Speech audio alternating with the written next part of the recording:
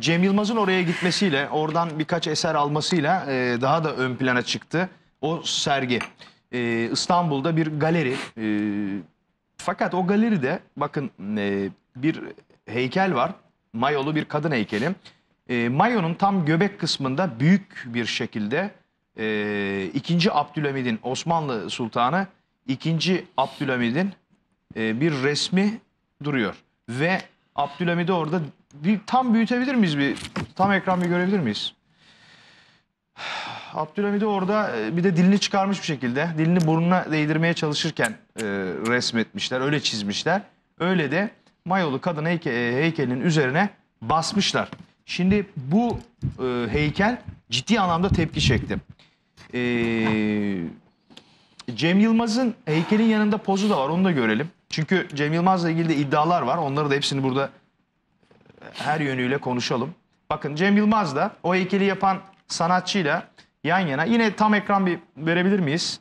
Birlikte e, o galeride poz verdi. Ki Cem Yılmaz'ın e, Abdülhamit neden buraya konulmuş şeklinde hiçbir eleştirisi yok.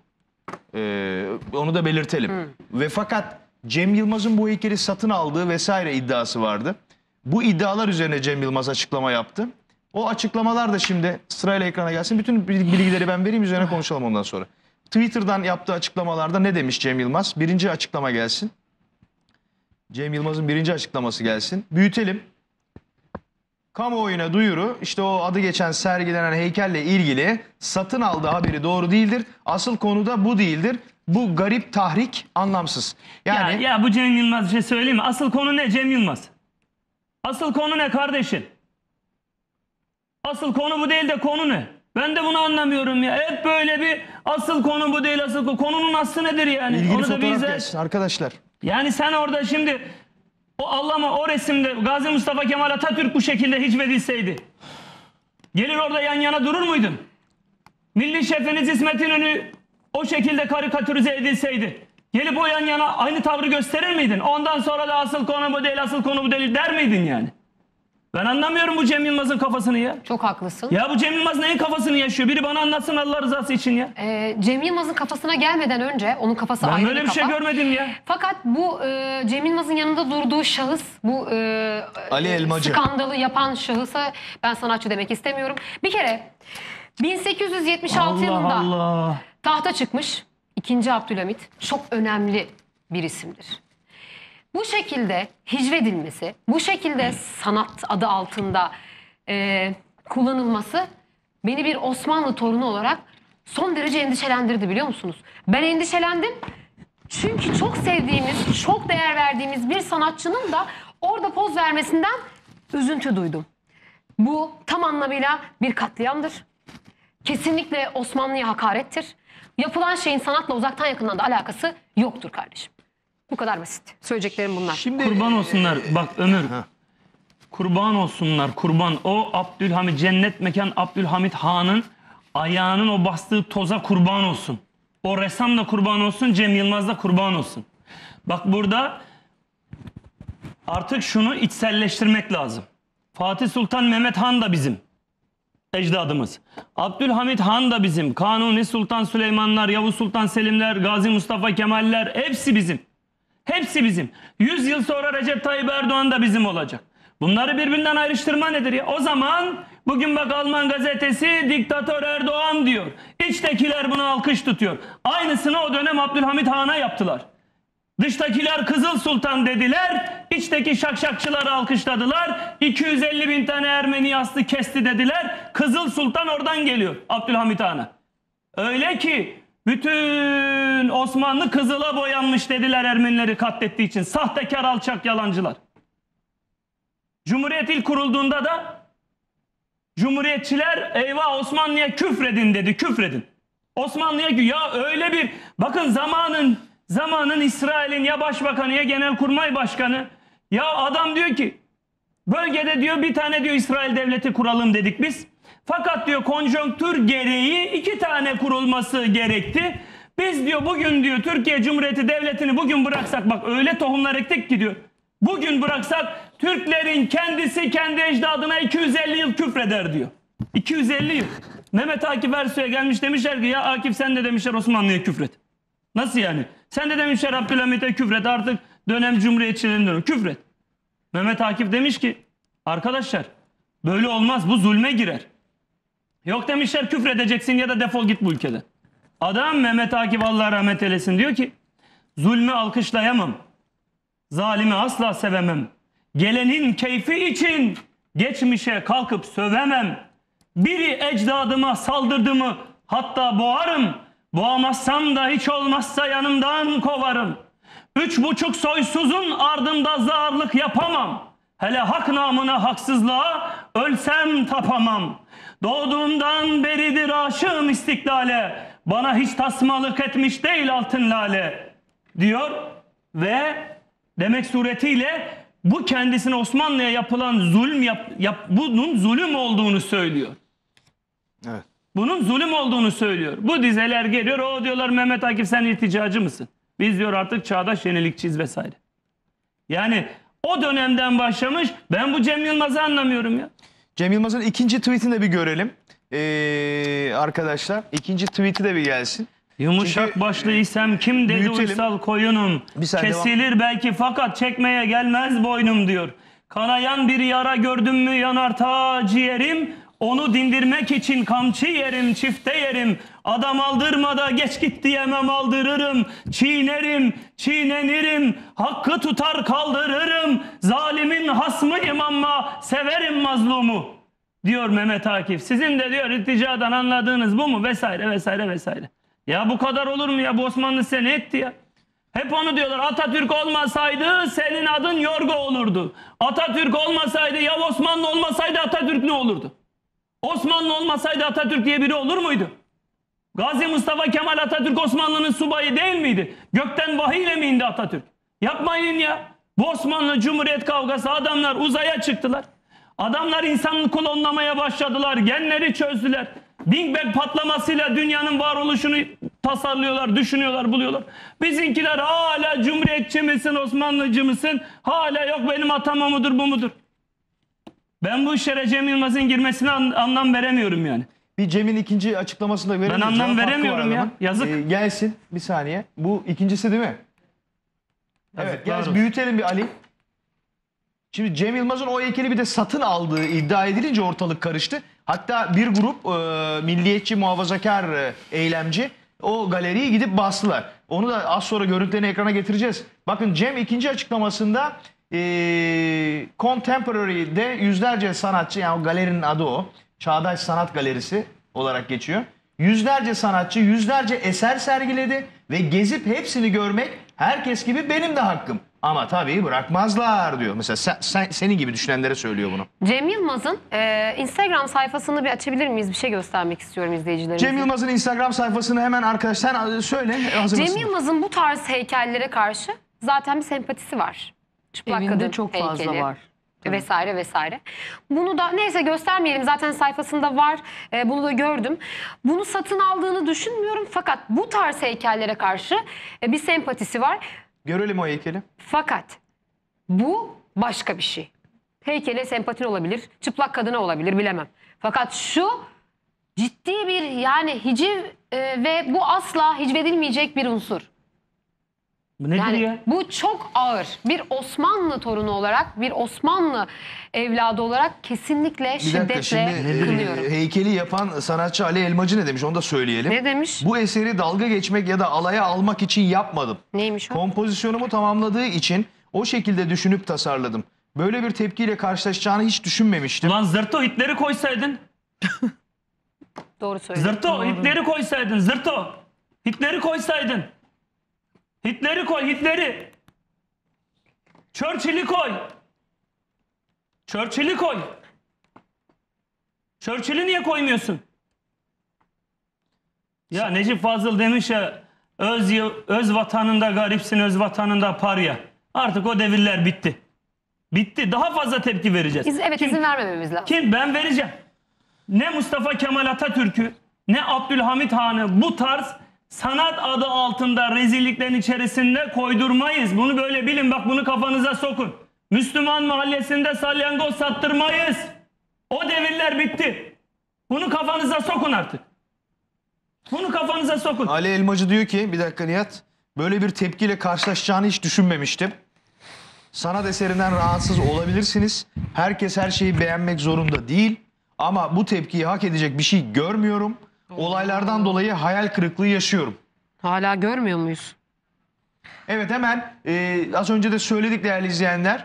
E, milli görüşü olarak yine kendilerini adlandıran muhafazakar e, ve milliyetçi e, bir grup eylemci. Ben mesela Lütfü ben Kırdar'daki ben daha mesela daha sanatsal olması noktasında bir fikir veriyorum. Ali mi bu arkadaşın Ali adı? Elmacı. Sevgili Ali, bundan sonra mesela daha böyle e, konjonktür gereği günümüze de uyarlamış olursun. Cem Yılmaz'ın zaten öyle Cem Yılmaz Atatürk istismarcılığı artık zirve yapmış bir adam. Sanal son derece sahte duruyor. 15 Temmuz'da millet vatanı kurtarırken, cumhuriyete sahip çıkarken Cem Yılmaz biliyorsunuz 15 gün ortada yoktu. 15 gün sonra gitti ben hepinize Atatürkçüyüm vesaire vesaire dedi. Atatürk'ün Gazi Meclisi bombalanırken de ortada yoktu. Bence burada gelmiş geçmiş bu e, son çeyrek asrın en mizah örneği Cem Yılmaz'dır. Bir dahaki sefere Cem Yılmaz'ı koy. Hatta biraz daha resmini de aşağıya indir. Şöyle bir 10-15 santim de aşağıya indir böyle. Cem Yılmaz'ı koy daha güzel olur. Alıcısı da çok olur. Cem Yılmaz kendi Instagram sayfasında paylaşır. Daha güzel olur yani ama böyle bir 20 santim de aşağı in ya da kadının arkasına doğru in. Popoya falan yap yani resmi. Çok daha sanatsal olur yani. Şimdi Cem'in zaten o Yazıklar olsun. az önce ekrana getirdiğimiz açıklamaların altında i- takipçilerin yorumları da o yöndeydi. Ya tamam da Cem kardeşim sen bu heykeli aldın almadın çok da önemli değil. Yanında poz vermişsin. Nihayetinde bu poz da basına yansıdı. Bir, sen niye bir kelime iki kelime de olsa bir eleştirmiyorsun diye eleştirilere maruz Ya kaldığını ne söylüyor. eleştirisi hoşuna gitmiş ki orada işte yan yana poz vermiş ya. Bir de bunu anlamıyorum yani. A- işin aslı işin aslı. Yazıklar olsun. Bak ya bir zihniyet var bak bir zihniyet var. Artık bu millet bu milletin böyle bir sorunu olmadığını millet 15 Temmuz'da gösterdi. O yüzden ben 15 Temmuz ruhunu özellikle örnek veriyorum. 15 Temmuz şunu gösterdi. Artık bu ülkenin Osmanlıcı mı, Atatürk Cumhuriyetçi mi diye bir kavga sorunsalı yok. Laik mi, muhafazakar mı diye bir sorunsalı yok. Kürt mü, Türk mü diye bir sorunsalı yok. Laikiyle, Kürdüyle, Türküyle, Alevisiyle, Sünnisiyle, Arabıyla 15 Temmuz'da adeta bir Çanakkale dayanışması oldu. Çanakkale bir istiklal muharebesi dayanışması oldu.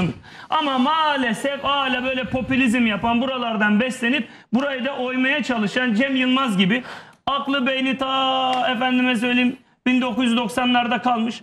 Adamların bu işe vesile olması da aslında hükümsüzdür. Ama bunlar tekrar ediyorum. Bak Müslüman mahalle, mahallesinde salyangoz satma dönemleri bitti. Bitti Cem. Bitti yani. Emin ol bitti yani. Bitti. Peki Nihat'cığım şimdi o ba- baskından Yani bahsediyoruz. kusura bakmayın biraz çok bu konuyla ilgili biraz fazla konuştum. Bir Estağfurullah şey, çok özür diliyorum ama Evet, burada Yani- bu masada herkesin belli hani daha çok konuşacağı belli mevzular var zaten. Ben- senin, senin de bu mevzular. Yani haklarını helal etsinler ama Ne tekrar demek ediyorum. helal. Bunu kafanıza yazın. 100 yıl sonra Erdoğan, Cumhurbaşkanımız Erdoğan da tarih kitaplarında bu ümmetin şerefli bir oğlu olarak anılacaktır. Ülkemizin kurucusu Gazi Mustafa Kemal Atatürk de Abdülhamit Han da. Bak tekrar ediyorum. Abdülhamit Han'ın ayağındaki toza sizi kurban ederiz. Cennet mekan Abdülhamit Han. 33 yıl boyunca bir karış toprak vermemiş. Bırakın bu işleri. Şimdi e, sanat adı altında tabii ki böyle çok özür diliyorum. Normalde bu tip şeylerde herkesin Fotoğraflar herkesin gelsin. herkesin emeğine, e, tasarımına ya da neyse hepsine sonsuz saygı duyuyorum ama hani bu biraz artık maskaralığa girmiş bir durum. Onun için bu arkadaşımızla ilgili e, bir işlem yapılması taraftarıyım. Yani Hmm. ceza mı kesilir? Artık ne yapılır? Çünkü herhalde Doğru. biraz tarih kitaplarını karıştırması gerekiyor. Bence kim olduğunu ne olduğunu bilmeyerek koymuş. Hangi dönemde çıktığını, hangi ne kadar dönemde- zor bir Osmanlı'nın Evet. nasıl zor bir döneminde Hayır, tahta şey- çıktığını. Bir şey söyleyeceğim. Ee, bunu yapması çok... Mesela hani Cem Yılmaz'a gelince Cem Yılmaz e, çok sanata meraklı olan bir sanatçı her şeyden önce. E, evinde de çok ciddi e, tarihi şeylerde, arkadaşlar. eserlerde e, ge- gerek hem paylaşıyor hem de e, çok ciddi parçalar. Yani Var. ben bir Hı hı. koleksiyoner Koleksiyoncu. olarak biliyorum açıkçası.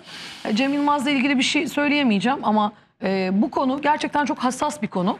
E, son derecede e, kınadım. Cem'le ilgili kareler yani Ali gelsin. Elmacı beyefendi miydi? Evet.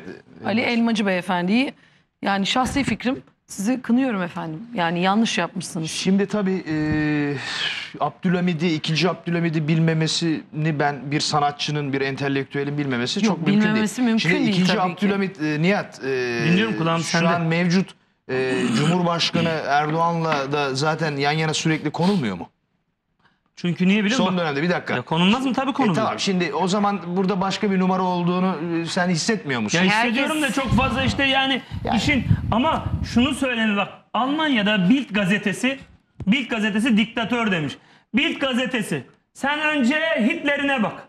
Tamam mı? Ya başka bir şey söyleyeyim O mi? baskın da gelsin mi? Görüntü gelsin, alttan- alttan gelsin, Nihat üstüne konuşsun. Ya oyun içinde oyun var da kardeşim mahallenin delisi gibi de hep bizi de böyle ön tarafa elimize almışız kılıcı çok fazla delilik de iyi. Yani ne kadar iyi onu, onu da bilmiyorum yani. Ben senin geçmiş yüzyılın en büyük senaryosudur mesela Hitler mitler. Hitler'e yatsınlar kalksınlar etsinler Hitler olmasaydı İsrail diye devlet kurulmazdı. Ya neyse onu günü gelince zamanı gelince onu da konuşuruz. Ama kimse kusura bakmasın. Şimdi hemen Eğer- açalım sesini şuranın. Bir dakika bu baskın anı. Evet Abdülhamit baskılı mayolu kadın heykeli nedeniyle e, işte bakın bir grup milliyetçi muhafazakar Çok e, güzel genç e, o galeriye gitti bastı ve e, bu baskı bu e, e, olay nedeniyle de heykel geçici süre olarak o galeriden kaldırıldı ve fakat sonra tekrar konuldu. Böyle de bir durum var. E, Bak ben sana bir söyleyeyim mi? Bak oraya bir dakika gel gel geri gel biraz. Bir, demin Nihat'ın söylediği şeyi söylüyor oradaki arkadaşlar. da. Biraz geri Evet. gelir misin? Buyurun. Ee, duyalım, açalım, duyalım. Reklama gitmek zorundaymışız. O görüntüyü de Ama verdik. çok, çok başka bir şey Dönüşte bir, bir- biraz daha benim vaktimiz söylediğimi olacak. İzleyicimiz sana, beklesin. hepimizinki. 3 dakika sadece. 3 dakikalık aramız var. söylüyor. Çok Dönüşte... önemli bir şey söyleyeceğim bak. Lütfen ekran başında kalın. Tamam. Çok önemli tarihi bir gerçekten bahsedeceğim. Çok Peki önemli. ne olur bizden ayrılmayın Lütfen. değerli izleyenler. Nihat ne diyecek Bunu- ben de bunu merak ediyorum. bilmenizi Evet, isterim. reklam gelsin. Resmen dedesini sattı ya. Dedesi o onun. Atası yani.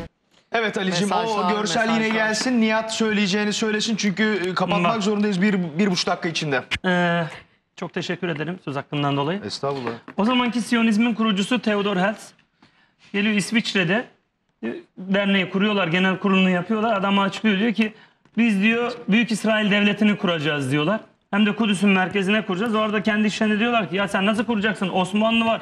Diyor gider isteriz diyor. Gidiyor Abdülhamit Han'a. İki defa Abdülhamit Han'la görüşüyor. Abdülhamit Han'a diyor ki bak siz diyor hasta adam konumuna düştünüz diyor. Bir son dış borcunuz var içeride dışarıda falan. Sen diyor bana bu Filistin'i ver Kudüs'ü. Ben senin diyor hem iç borcunu hem dış borcunu kapatacağım diyor. Bir de diyor en az onlar kadar da bir o kadar da para yardımı yapacağız sana diyor. Abdülhamit Han diyor ki ya Teodor diyor çok güzel diyor bir fikir. Aslında diyor vermek de isterim fakat diyor burası diyor bana diyor ecdadın emaneti. Bizde diyor kanla kanla verilir diyor. Kusura bakma veremem diyor ve geri gidiyor. O zaman dönüyor ya diyor bu Abdülhamit çok kurnaz zeki adam diyor. E ne yapacağız kuramayacağız mı İsrail'i? Olur mu diyor Abdülhamit'i indireceğiz Osmanlı'yı parçalayacağız kuracağız diyor. Vesaire vesaire Gazi Mustafa Kemal Atatürk geliyor. O Teodor Herzl Hayim Noam vesaire gidiyorlar Atatürk'e diyorlar ki Atatürk biz diyorlar Filistin'e İsrail devleti kuracağız ama sen karışma. Atatürk de diyor ki ne münasebet orası bana ecdadın diyor emaneti. Atatürk de karşı çıkıyor İsrail devletine. Hatta parlamentoda konuşması da var. Sen karşı mı çıkıyorsun? Atatürk'e karşı çıktığı için suikastler düzenleniyor. Gazi Mustafa Kemal kim bu suikastleri düzenliyor diye bir bakıyor ki Mason dernekleri dışa bağımlı. Mason derneklerini kapatıyor ve Gazi Mustafa Kemal Atatürk'ü zehirleyerek öldürüyorlar. Bir yönüyle Mustafa Kemal de milli çok önemli bir liderdir. Abdülhamit Han ve Gazi Mustafa Kemal Atatürk ne için yok edildiyse bugün de aynı güçler İsrail'in kurulması, Türkiye'nin parçalanması noktasında Recep Tayyip Erdoğan'ı yok etmek istiyorlar. Oyun aynı oyun, kader aynı kader. O yüzden o yüzden bizler de devletimizin, milletimizin Yanında. arkasında durmalıyız. Abdülhamit Han'a da Gazi Mustafa Kemal Atatürk'e de bugün de Recep Tayyip Erdoğan'a da aynı unsurlar o Siyonizm diyorum ya işte o lanet olası Siyonizme karşı savunmalıyız. Evet. Atatürk'ü istismar edenleri de buradan deşifre etmeliyiz diye düşünüyorum. Kesinlikle. Yani ünlüler arasında Biraz hızlı çok anlat. istismar Aynen öyle. eden var. Evet.